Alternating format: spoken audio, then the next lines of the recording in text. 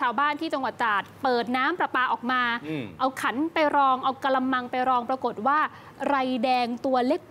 กอืมๆที่อาจจะไม่ค่อยเห็นกันนานแล้วนะคะ แต่ปรากฏมันไหลมาพร้อมกับน้ำประปาที่เปิดออกมาจากก๊อกค่ะอันเนี้ยเนี่ยนะอยู่ในหม้อที่ชาวบ้านเขาบอกว่ากำลังจะทำกับข้าวเลย เอาหม้อเนี่ยไปรองเปิดจากก๊อกน้ำแล้วก็อะไรมันยึกยือยึกยืออยู่ในหม้อ เนี่ยค่ะหนอนแดงหรือว่าไรแดงที่เมื่อก่อนเนี่ยตามต่างจังหวัดอาจจะเคยเห็นตามริมคลอง ริมหนองน้ำที่น้ำมันนิ่งๆหน่อยนะคะแล้วก็มักจะมีชาวบ้านที่เขาเลี้ยงปลาเนี่ยไปจับเอาไปเลี้ยงปลาอีกทีหนึ่งนะคะเป็นอาหารชั้นเลิศของปลาเลยอะอย่างปลากงปลากัดอย่างเงี้ยเขาก็กินไรแดงแบบนี้แหละค่ะ ชาวบ้านนะ ก็แจ้งเจ้าหน้าที่ แจ้งผู้สื่อข่าวให้มาดูเลย ผู้สื่อข่าวก็เนี่ยไปดูเห็นเลยนะคะ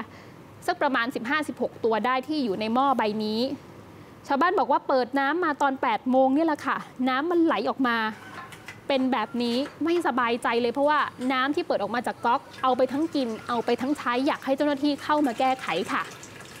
พอดีก็หมดจะเปิดน้ำแล้วก็เดินออกไปเข้าไปในบ้าน เดี๋ยวพอได้ยินเสียงน้ำล้นก็เลยกลับมาอ้าวก็ปิดพอปิดน้ำอ้าวมันมีตัวอะไรแดงๆอยู่ในน้ำเราก็จะว่าเอ๊ะมันเหมือนตัวลูกน้ำเลยพอไปมามัน ไม่ใช่แล้ว มันน่าจะมันเป็นพยาธิหรือเปล่าผมก็ไม่รู้นะก็เลยต้องหยุดช่วยทำน้ำให้มันดีกว่านี้หน่อยนะฮะถึงน้ำมันจะใสก็จริงอะแต่บางบ้านตามที่เขาไม่มีน้ำประปาไม่มีน้ำกรองน้ำกลันกินอะถ้าเขากินน้ำประปาโดยตรงอันตรายมากครับอ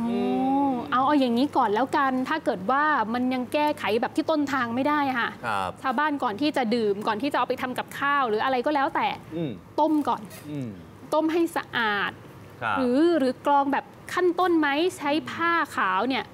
หุ้มที่ก๊อกเอาไว้หน่อย อย่างน้อยเป็นการกรองขั้นต้นเออเออแต่ว่าเนอะปลาปลาก็ต้องไปดูนะฮะค่ะอันี้มันแปลกมาก ๆ เลยแหละอืมแล้วมันก็อันตรายกับชาวบ้านด้วย ค่ะอืมนะครับ